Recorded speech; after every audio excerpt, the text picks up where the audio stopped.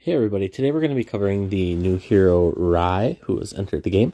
So to get this hero, you'll need to click on your Evangelion event, event button up here, and then go down to your game room, go into your gift center, and if you scroll to the right, you will now find that there is a Rei Ayanami, and I'm hoping I'm saying this right, pack. Uh, you can buy her for 20 US dollars, and then you can also get her skill here, which we will cover later. The Lucky Treasury has changed for her. So it is now her instead of Shinji. And typically you can get her for approximately 3,300 in Lucky Treasury. We'll see how we do today. So we have one, two skill, or sorry, shards.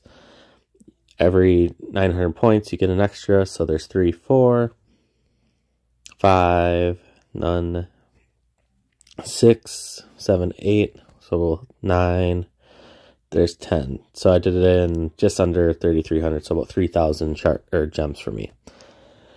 But we're going to always, I always make sure I finish it because it's a free shard for 330. Uh, some people do use Lucky Treasury to 5-star these heroes. If you have the gems, definitely not bad. Um, I kind of did it with Shinji for a little while to level him up to 4-star.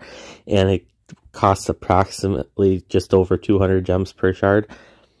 So it's not terrible, but or it's not the best, but it's also a way you can do that without using your orange shards if you want to use those for perking on other heroes or things like that. So once you have your 10 shards, you will want to go into your hero list and you can recruit her.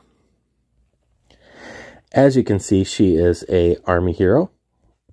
She has an attack skill and she has a support skill. So she's a multi-skilled hero and judging by her stats, she's pretty balanced with war defense. Her skill for 5-star max stats reads, At the beginning of the battle, all units get a 55% HP shield. She starts with 4 rage points, and each regular attack gets her 1 rage point. So that means that she will go off on your third tile, because it only requires 7, with the possibility of gaining rate 1 rage point when your unit receives a regular attack. So that means you also have a chance of getting an extra rage point when you're attacked. When the rage point is 7 or higher, after any of your units make a regular attack, use all of the rage points and release the skill to fire two missiles at a random at random enemy targets, each dealing 100% damage. When releasing the skill, each missile does 5% more damage for each rage point used. So what that means is your damage is going to not actually be just 100%.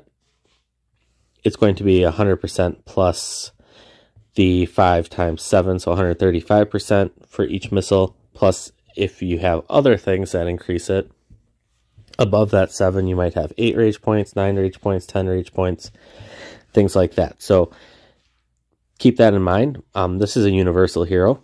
Also, you didn't see anything specifically saying Navy or Army or Air Force, just like with Shinji. So if you come into here, your level 3 increases the attack by 30%. The level 5 increases the skill.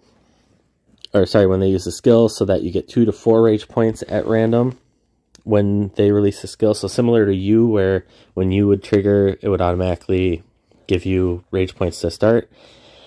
And basically what that means is her rage will always be at 3 after releasing, meaning it she should always probably trigger within the first two tiles every time. So she's going to trigger a lot, especially if you listen to my tip here in a second.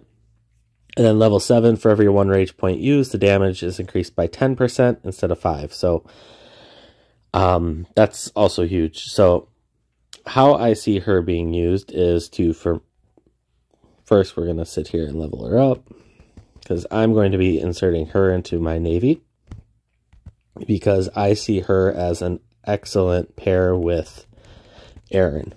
And currently I still have Bylos in my March, which she's not really going to be a great straight up replacement for Bylos, but I'm also leveling up Shinji because I think that I can take and replace both of them both you and Bylos with these two heroes. So now that I have her level 120 and 5 star, um, so if you take her Rage and you have Aaron Yes's um, ability to add rage to your allies. So each person gets two to four rage points every time her skill goes off.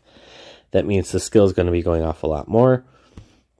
And then you can use Shinji instead of you to get your indestructible at the beginning of the battle.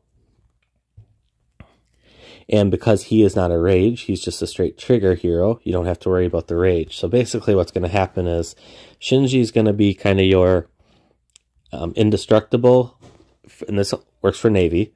Shinji will be your indestructible, where Aaron, yes, will sit there and trigger her skill and keep activating that and adding rage to both herself and the new hero Rei.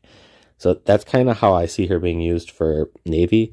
Um, even if you don't have want to level up both her and Shinji, at the very least level up her and put her into your march. You can replace pretty much anybody with her as long as you have Aaron with her. So it should be Aaron, her, and then I'd suggest Nemo just because he kind of has that attack buff, but I might keep Byllos because I don't want the rage. I want all Aaron's rage going to her to enhance her attack instead of going to possibly going to Nemo.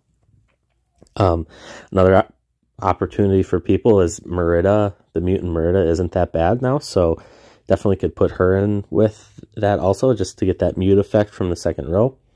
Um, there's a lot of different options that this opens up, but just like with Shinji, she, she seems like she's going to be broken.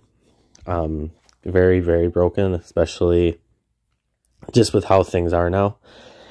Um, so that is her. Um, I did not mention her skill quick, so I'll kind of show you that. Sorry, forgot to cover that while I was in here.